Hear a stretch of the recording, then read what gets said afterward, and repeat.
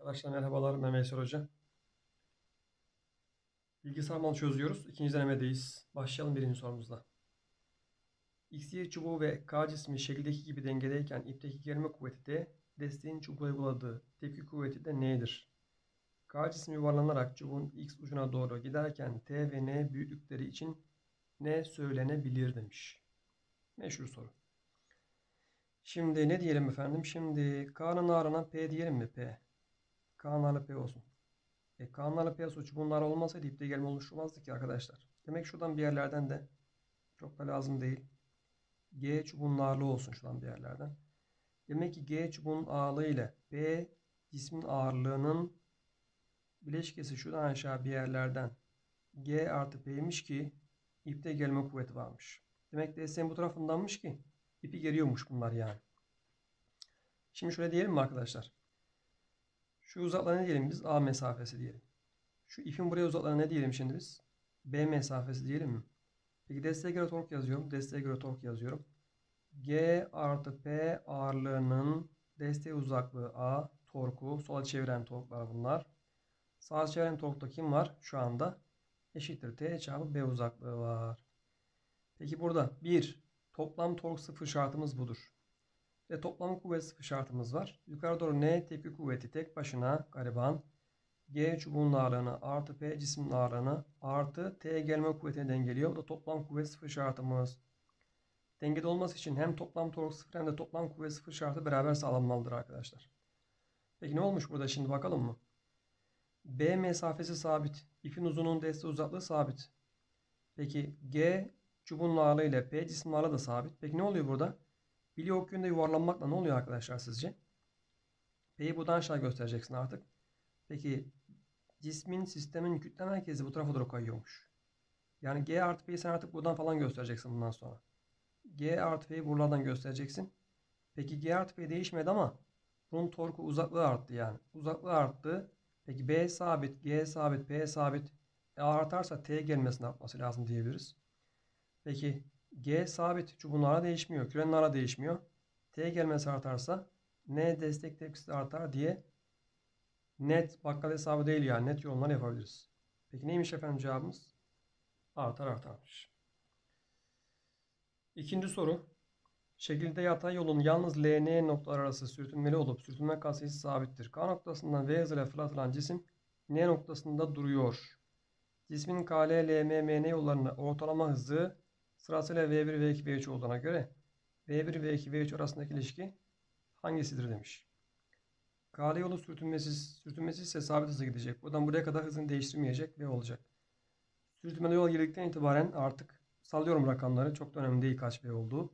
Azalacak. V1, olacak. Azalacak. Duracak. Tam buralarda V1, olmaz aslında da. Çok da önemli değil. Azalacak anlamında V1, yazıyorum. Bu da V eşittir sıfırmış efendim. Pekala. Şimdi ne diyeceğiz? Arkadaşlar düzgün hızlanan hareketlerde bakın şöyle yazılabilir. Düzgün hızlanan veya yavaşlayan hareketlerde yani sabit ivmeli hareketlerde V ortalama hız eşittir.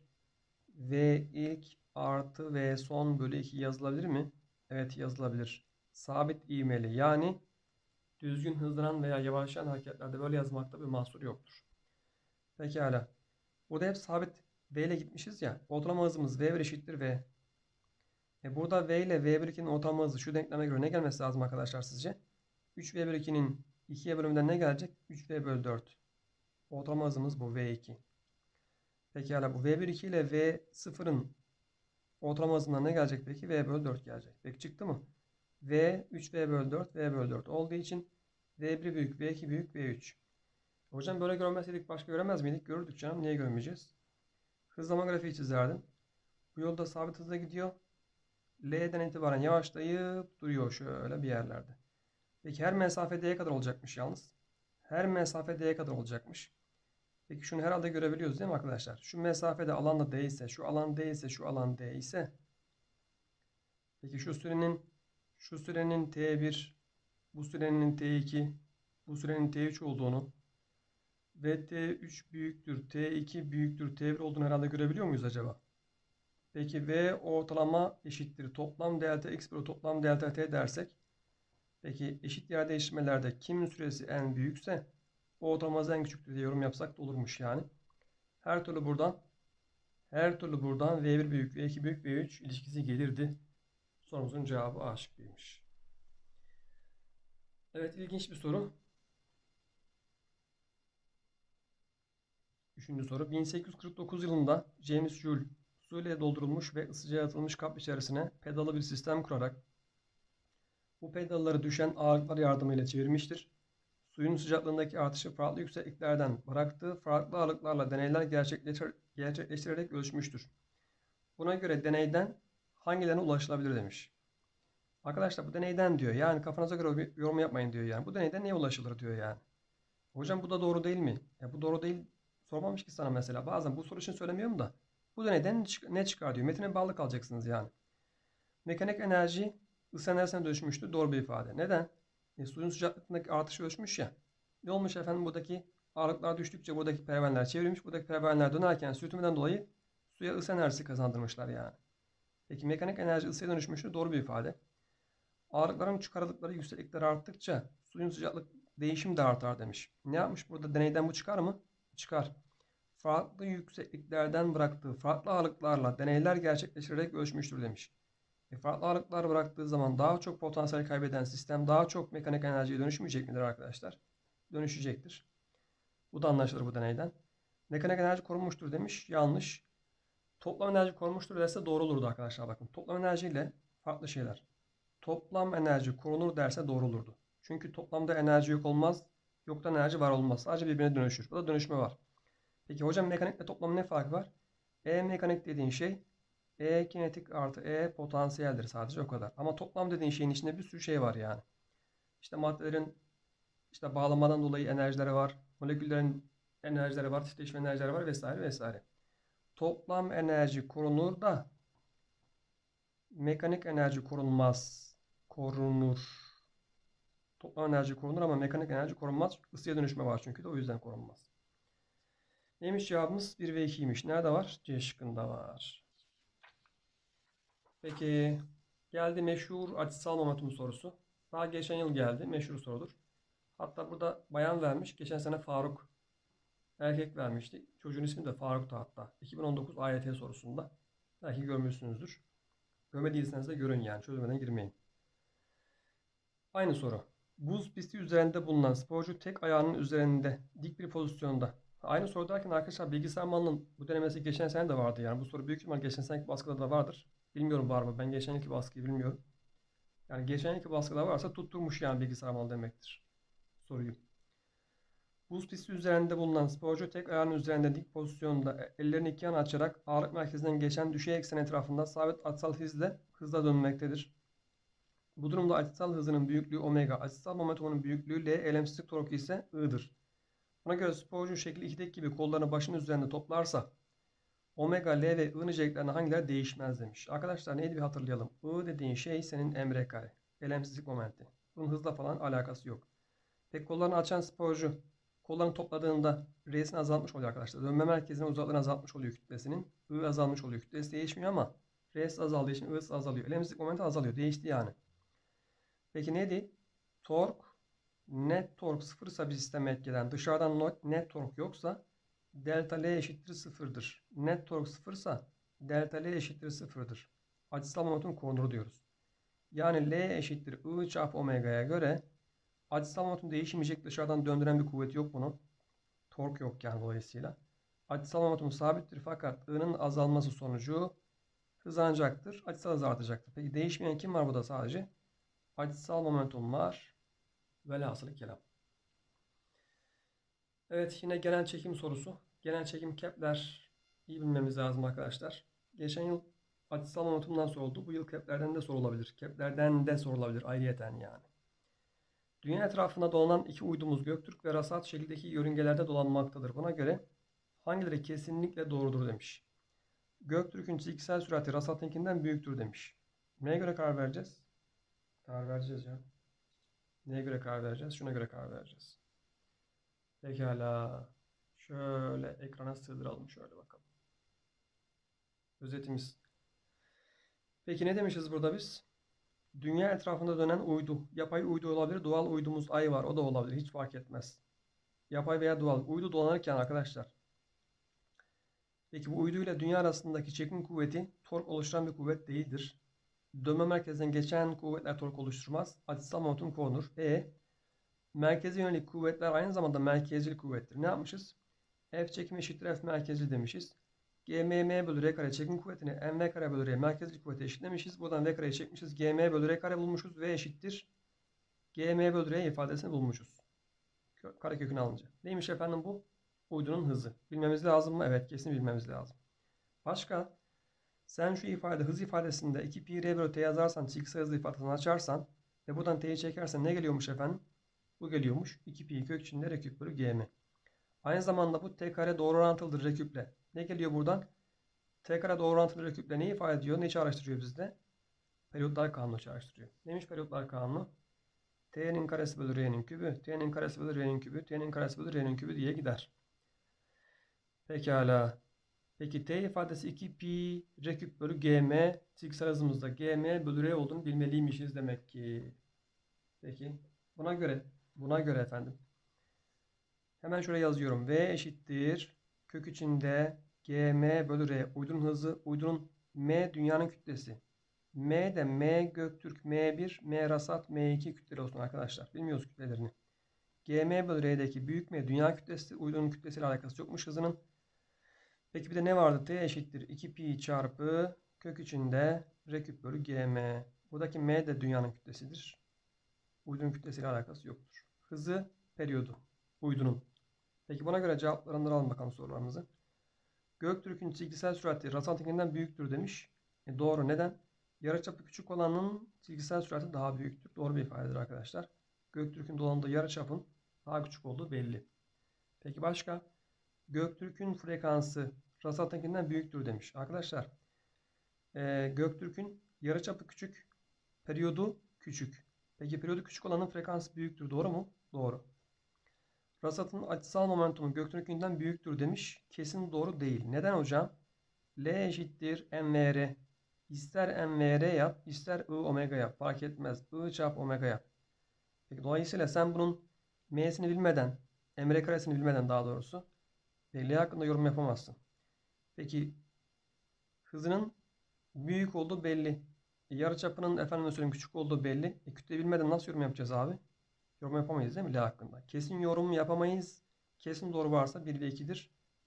Doğru cevabımız D şıkkıdır. Evet, kolay bir harmonik hareket sorusu. Kolay bir periyot paylaşım sorusu.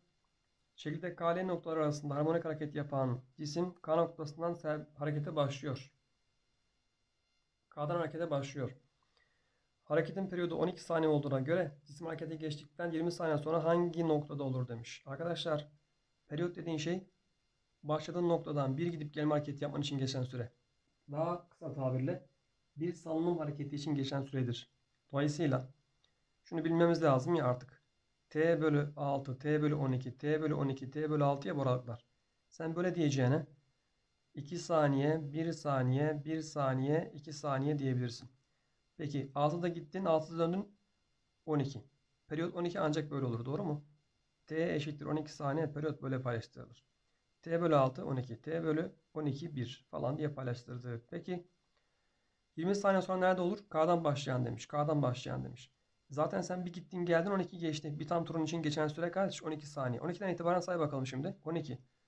2 daha 14. 1 daha 15. 16. 18. Anda 20. Geri dönüşlerin de böyle olacak ya. Neredesin şu anda? Ne noktasındayız? Kolay soru olmuş. Kaçırmamak lazım. Peki neredeyiz şimdi? 7. sorudayız. 7. soruda. Yalıtkan zemin üzerindeki artı Q, artı Q yüklü X cismi yatay zeminde sabitlenmiştir. Buna göre hangileri yapılırsa elektriksel kuvvetler pozitif iş yapar demiş. Arkadaşlar okul kitabının üzerinde durmuş. Okul kitabında bir okursanız tekrar ederseniz 11. sınıf kitabında, MEP kitabında var. Yalıtkan zemin üzerindeki artı Q yüklü X cismi yatay zeminde sabitlenmiştir. Peki hangilerinde pozitif iş yapmak demek ne demektir? Hemen şunu hatırlayalım arkadaşlar?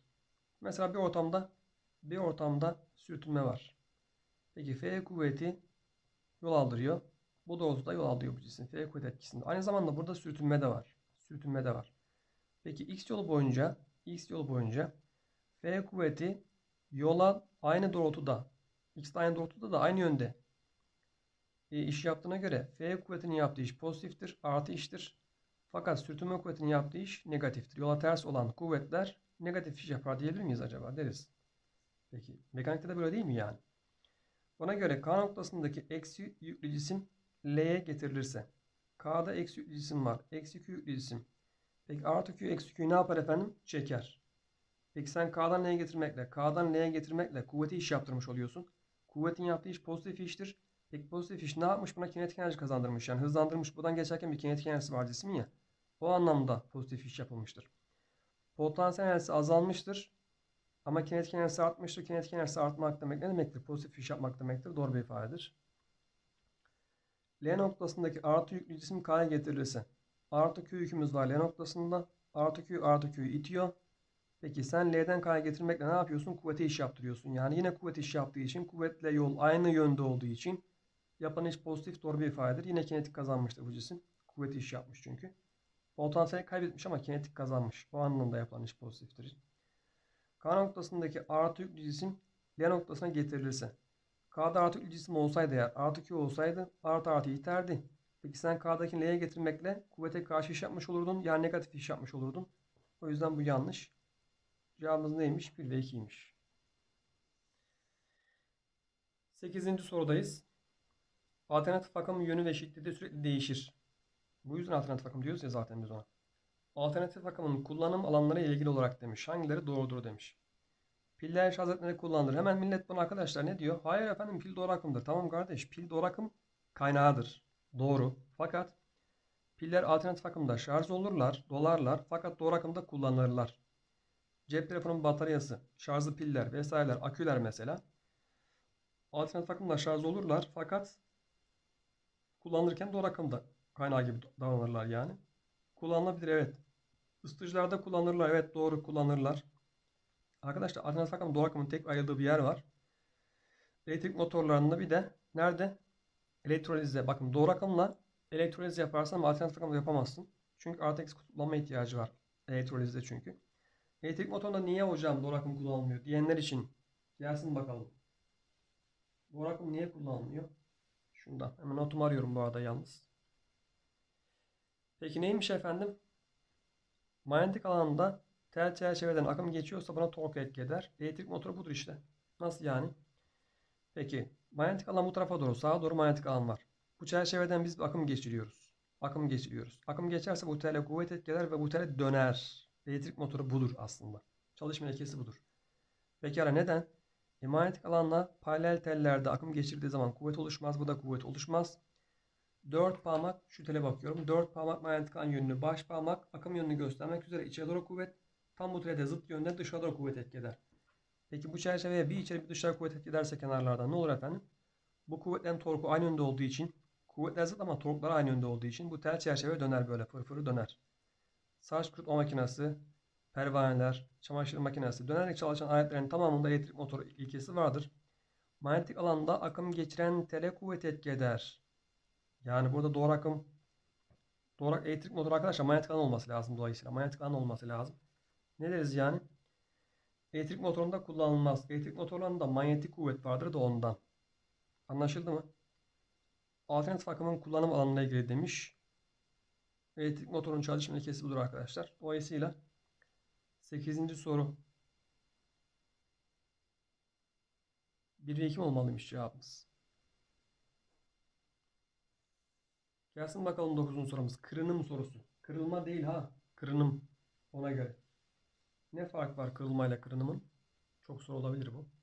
Kırılma derinlik farkından dolayı suyun diğer ortama geçerken doğrultu değiştirmesine veya ışığın. Ama kırınım başka bir şey. Kırınım nedir peki? Doğrusal dalgaların çok dar bir yaraktan geçerken bu kenarlardan bükülmesine. Peki ne oluyor bükülünce? Dairesel dalgalar gibi yayılıyorlar ya. İşte buna biz kırınım diyoruz. Kırınım. Peki bu ortam derinliği bu ortam derinliği aynı olduğuna göre iki tepe arası mesafe burada lambda ise burada da lambda olması değişmiyor. Hız değişmedi, dalga boyu değişmedi, frekans değişmedi. Sadece şekli değişti o kadar. İşte bunun adı kırınımdır arkadaşlar bakın. Derinliği sabit olan dalga leğeninde dalgaların yayılma hızı 1 bölü 2 cm bölü saniye. Yarık genişliği 4 cm. Yarıktan geçen dalgaların kırınıma uğraması için kaynağın periyodu en az kaç saniye olmalıdır demiş. Neymiş efendim kırınım bakalım mı bir? Evet kırınımı şöyle özetleyelim bakın. Görünüyordur inşallah hepsi.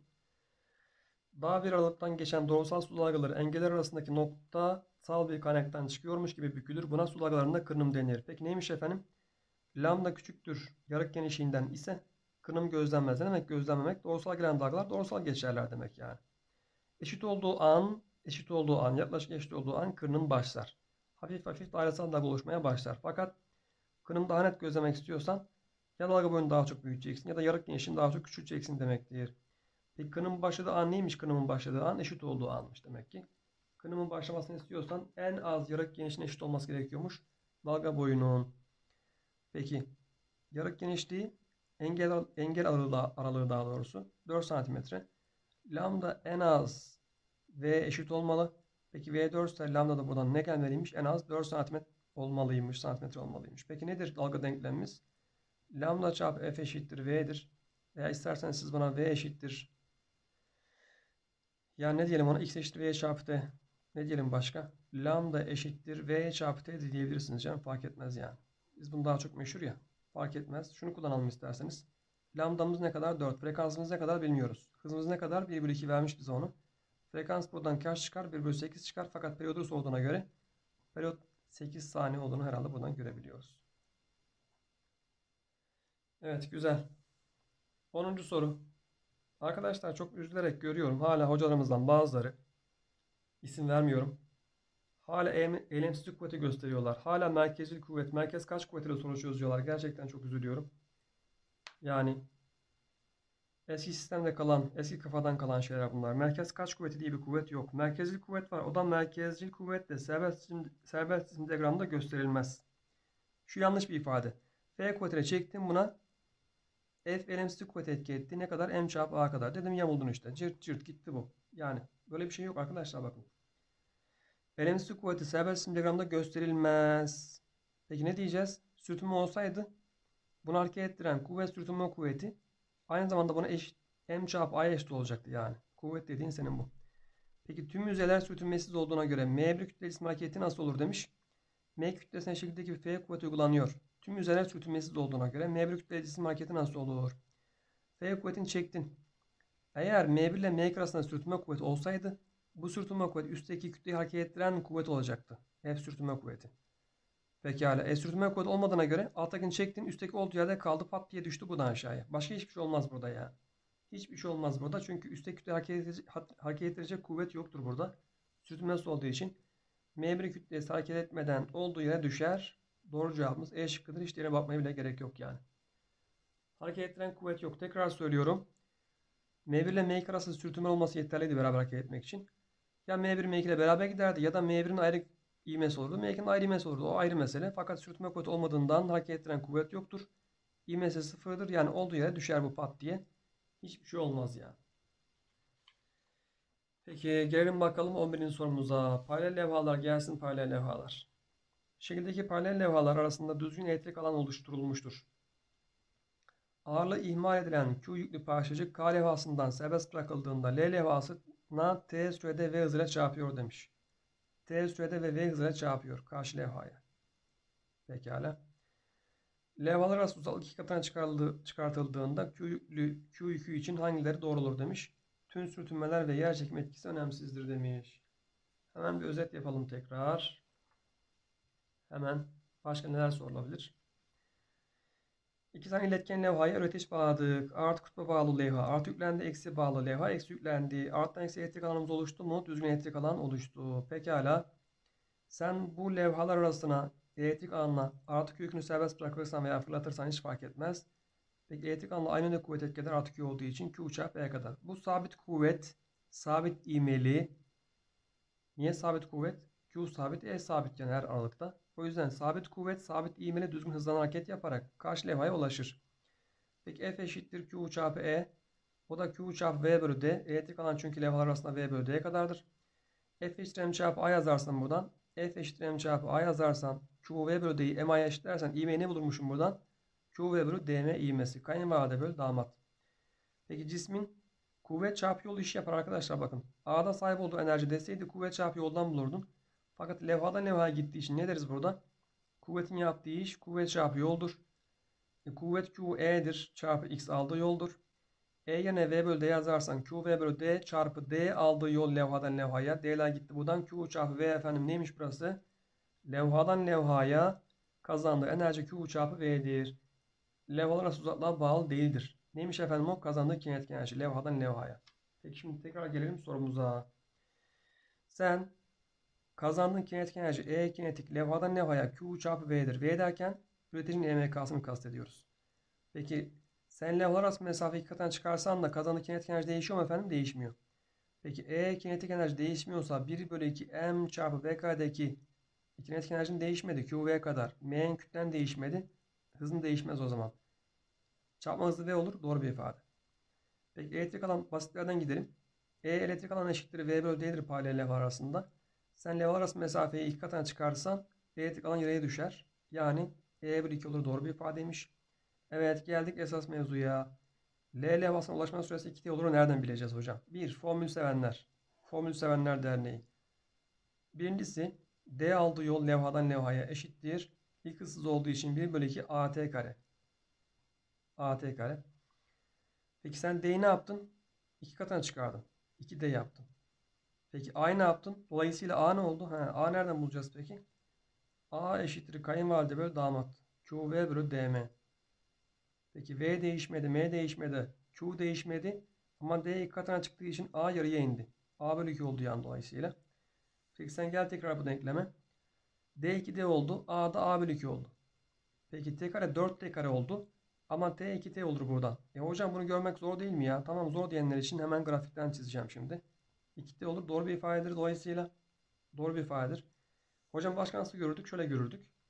Ben olsam grafik çizerdim. Daha güzel görürdüm. Hızın değişmeyecek dedik ya kardeşim. Hız zaman grafiği çiz buraya. Hız zaman grafiği çiz. Önceden ne yaptın sen? Büyük ivmeli hızlandın. Büyük eğimle hızlandın. Karşıya V hızıyla çarptın. Şimdi daha az ivmeyle, yarı ivmeyle gidiyorsun fakat yine karşıya V ile çarpıyorsun. Hızın değişmedi ki senin. Peki hızın değişmedi ama levhalar arası mesafe D şurasıydı önceden. T süre alıyordun burayı sen. D. E 2D oldu şimdi. Şu alan 2D oldu şimdi. E bir zahmet süren de 2T olsun da. Çünkü hızın değişmedi yani. Öyle değil mi? Bak buradan da gayet güzel görünüyormuş. Süren T'de D yol alıyordun. Aynı hıza ulaşıyordun. Ama süren 2T olursa ancak 2D yol alırsın. Aynı hızla. Diye düşünseydik de olurmuş yani. Doğru cevabımız neymiş? E şıkkıymış. Velhasıl kelam. Evet. Yatay yolda hareket eden bir araca ait kinetik enerji yol grafiği verilmiştir demiş. Araç üzerine net kuvvetin yola bağlı değişim grafiği hangisi olur demiş. Net bilgi, net bilgi, temel bilgi bilmemiz lazım. Arkadaşlar iş eşittir kuvvet çarpı yol. Kuvvet çarpı yol. Aynı zamanda yapılan iş kinetik enerji değişimine eşittir. E kinetik eşittir kuvvet çarpı yol diyebilirsin buradan. Peki buradan şöyle bir ifade gelir. Bir, birinci cümle. Kuvvet yol grafiğinin altında kalan alan işi verir yani kinetik enerji verir diyebilirsin. Veya E kinetik bölü x eşittir F neti verir diyebilirsin. İki cümle var burada. Kuvvet yol grafiğinin alanı enerjiyi, enerji yol grafiğinin eğimi net kuvveti verir nokta. Biz neyi kullanacağız peki? Şunu kullanacağız. Değil mi şimdi? Bunu kullanacağız. Peki ne, nedir? E, enerjin sabit, eğim sabit, kuvvet sıfır. Eğim sabit değil. Eğim sabit değil. Pardon, pardon. Eğim sıfır, kuvvet sıfır. Eğim eksi sola yatık doğruların eğim eksidir ya arkadaşlar. Eğim eksi kuvvet eksi. Bu kadar bitti. Hemen sırıtıyor bariz. Eğim sıfır kuvvet sıfır. Eğim eksi sola yatık ve sabit. Budur. Bu kadar. Bunun alana bunu verecek. Kuvvet yolu grafiğinin alanı bunu verecek. Enerji yol grafiğinin eğimi de bunu verecek. Bu kadar. Bunu bilmemiz lazım. Peki güzel soru. 13. soru arkadaşlar ben yani AYT formatı soru ben size söyleyeyim mi? Yani siz öyle uyuz uyuz gördüğüne bakmayın yani. Şu da güzel bir soru. Yani çok formül gerekiyor ama şu da güzel bir soru bence. İşaretleyeyim ara ara böyle soruları. Şu güzel gayet temel bir bilgi sorusu bence. Sorulabilir yalnız. Aşağıdaki şekillerde M kütleli parçacığa bir veya iki kuvvet etki etmektedir. Parçacığın hızının büyüklüğü V olduğuna göre hangi durumda parçacığın hızının büyüklüğü değişmez demiş.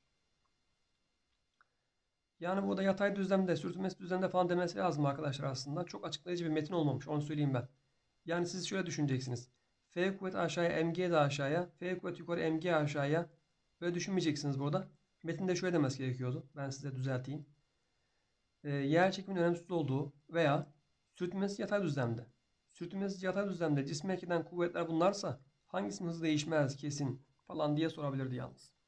Kural şudur. Eğer hız yönünde, hız yönü bu yönde. E sen hız yönüne ters yönde kuvvet uyguluyorsan bu cisim yavaşlar. Kural.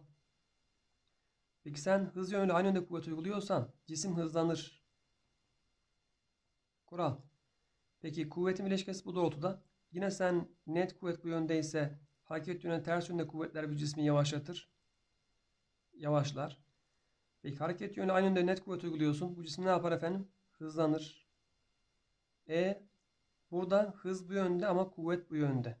Evet yine aynı şeye geldik. Döndük dolaşık manyetizma da var. Elektriksel kuvvet de var. Her tarafta var. Karşımıza çıkar. Nedir efendim notumuz? Hemen yapıştırıyoruz notumuzu. Hıza dik kuvvetler iş yapmaz. Hıza dik kuvvetler iş yapmaz. Fizikte önemli bir kuraldır bu. Ve çokça sorulmuş arkadaşlar. Tekrar ediyorum. Manyetizmada da var. Mesela manyetik kuvvet iş yapmaz. Manyetik anda cisim hızlanmaz. Sebebi bu. Niye? Kuvvet hıza dik olduğu için. Hıza dik kuvvetler iş yapmaz. İş yapmaz demek kinetik enerjisini değiştirmez demektir. Dolayısıyla hızlanmaz demektir. Yani hız değişmez. Çünkü kuvvet iş yapmaz. Cismi hızlandırmaz da ondan. E ne olur ya? Yörüngesine saptıracağım. Şöyle gider. Şu doğrultuda hareket etmesini sağlar o kadar. Hızlandırmaz yani.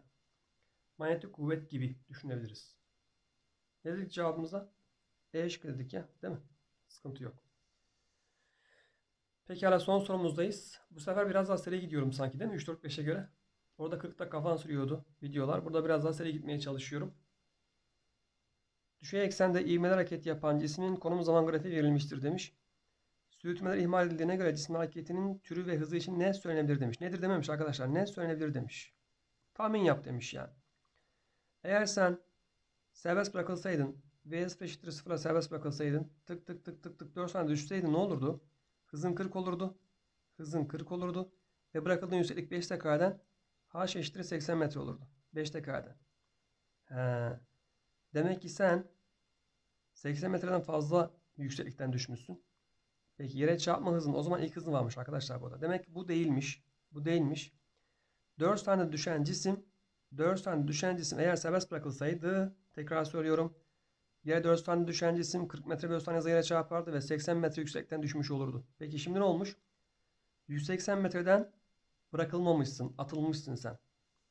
Peki 180 metre yüksekten bırakılmadın. V hızıyla atıldın. Tık tık tık tık yere düştün. Şu mesafe ne kadar? 180 metre. Demek ki efendim aşağı doğru sen fırlatılmışsın. Yere çarpma hızında 40'tan büyük. 40'tan büyük ve son büyüktür 40 metre bölü saniye. Cevaplarımız yukarıdan aşağı düşey atış hareket yapmışsın ve hızın ne olabilir?